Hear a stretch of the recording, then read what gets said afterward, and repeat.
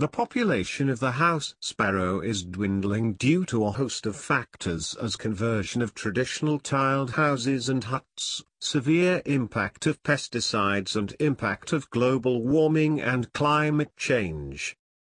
The population of the bird has been drastically reduced in urban areas and in rural areas too. Concrete jungles have replaced their traditional housing architecture. Culture of bushes, Flowering plants, foliage plants are no more in urban ecology, owing to human population stress, increase in vehicle population, emanating lot of vicious smoke, lead to decrease in the bird population. In this context, eco-warrior Davidson decided to increase the bird population, when he spotted about four pairs in a vegetable market in the outskirts of Nagercoil town. The market is located in two-storied concrete building in three acres of land. Davidson experimented to attract the birds to nests by fixing cardboard boxes, rare birds preferred them for breeding. This was followed by placing bamboo nodes and finally by wooden boxes.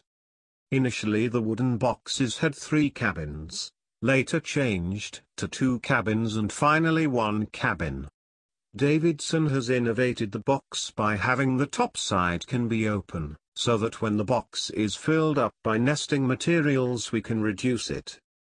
There is a small wooden piece outside the entrance that the bird can sit there for rest.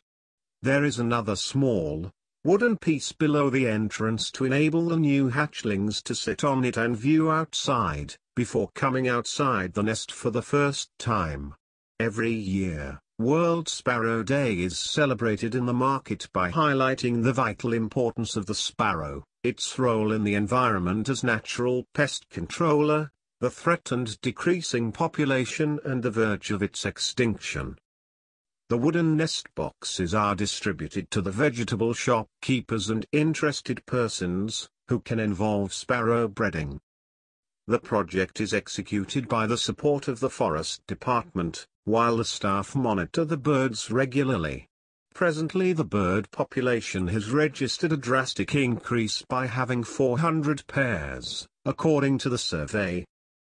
The Sparrow Project has taught us many lessons, that it imparts environmental education to the stakeholders as shopkeepers, vegetable buyers, truck drivers, loaders, visitors, students, and agriculturists. It has taught the people that birds can be enabled to propagate its species in concrete buildings in urban ecology. The project is a cardinal instance of sustainable development in urban ecology.